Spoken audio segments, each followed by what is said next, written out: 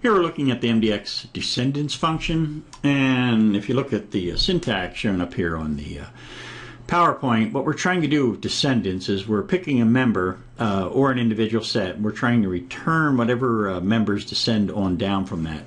So here's my selected descendants, and then of course I'm wrapped down in here in my parentheses, and then I'm passing in product and I've got this little merge screenshot down in here so that you can see the hierarchy or, uh, as we proceed on through proceed on through it.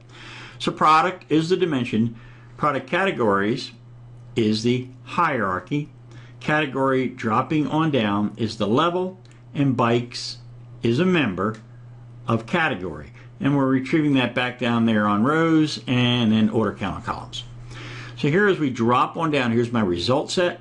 Better set is a cell set bikes coming back across, which is bikes, and then descending down off of bikes, not shown off of here, is actually is mountain bikes.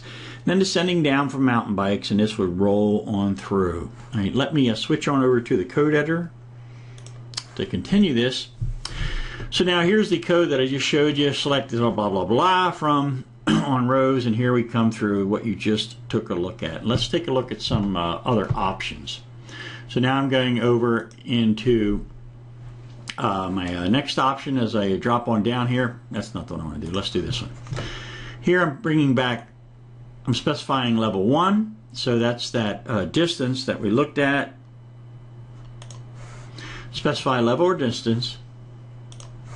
So I'm specifying one descending on down, and here's mountain bikes, road bikes, and touring bikes. So dropping on down, we can do this on a cross. Now we'll do we'll uh, go into the one I just skipped across. And now I use this qualifier before and after. And before and after, that's going to return the descendant members from all the levels that are going to be subordinate to the level that we just looked at. It will include the specified member, in this case, which is bikes, but it does not include members from the specified level or, you know, if we specify an individual distance. Now here's how you can see that. Here's my results, my query. Now notice the difference. Bikes, and then we drop on down immediately. What we don't have are mountain bikes, road bikes, and touring bikes. Come back across, let's take a look at it, and let's go into messages. I've got 127 rows and two columns. If I go back to my original query and take a look at my messages, now I've got 130 and 2. Which are the missing three? These three. And again, that's my before and after.